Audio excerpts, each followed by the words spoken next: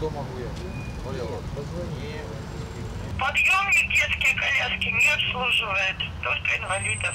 Коляска детская, в ней десятилетняя Олеся. У нее детский церебральный паралич. Она не может пройти несколько шагов. Девочка инвалид с рождения. Но чтобы попасть в лифт на свободном, нужно подтвердить свое заболевание диспетчеру подъемника. Это инвалид, ребенок в Это коляске. не лифт, подъемник.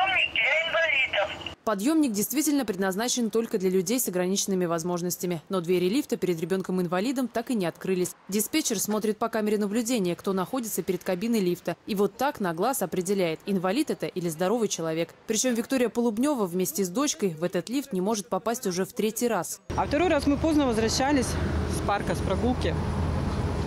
Я вообще ну, не смогла никак тоже открыть, тоже держала долго кнопку. И пришлось спуститься самостоятельно вниз. Чтобы диспетчер смогла определить, кто перед кабиной лифта, людям с ограниченными возможностями, главный инженер организации, которая обслуживает переход, предлагает носить с собой знак инвалида и при входе показывать его диспетчеру. Это же не транспортное средство, почему табличка? Мы же на себя не вешаем таблички, что мы обычные люди. Ну, или, допустим, инвалид, он же там со значком инвалида не ходит. Хорошо. Если вот э, мама сделает табличку, положит себе в сумку, при пользовании подъемником она эту табличку будет показывать. А куда она должна ее показывать?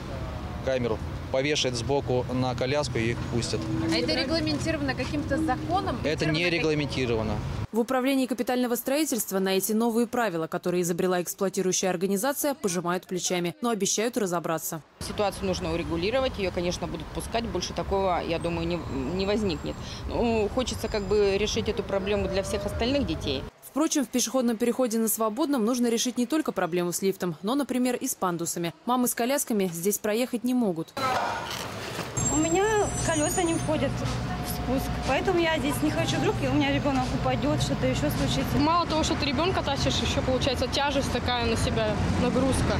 Не предусмотрено ничего здесь для детей. Мы спускаемся, ребенок кричит, что я его оставляю, тащу этот велосипед. Лифт не работает. Строители, проектировщики и чиновники утверждают, пандус сделан по ГОСТу и для стандартной коляски. Может быть, она какая-то нестандартная коляска. Значит, ну мы посмотрели ситуацию, значит, сейчас подумаем, как эту, этот вопрос решить. Непонятно одно, почему эти проблемы решают только сейчас, а не перед открытием пешеходного перехода после реконструкции. И сколько на это понадобится времени? Сколько еще мамы и со здоровыми детьми, и с инвалидами будут носить и коляски, и детей на руках? Юлия Бычкова, Михаил Ткачук, Афонтова новости.